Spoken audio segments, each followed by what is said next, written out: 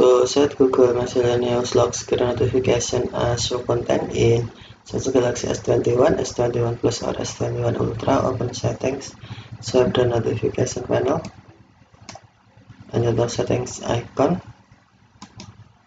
Scroll down settings screen, find Google, and then tap Google, Google Services. Scroll down screen, tap settings for Google Apps and then tap search assistant and voice. Select notifications and then tap notification scan select miscellaneous. If you cannot find miscellaneous you must turn on Google notification. If off tap show notification switch until blue to turn on. And then select miscellaneous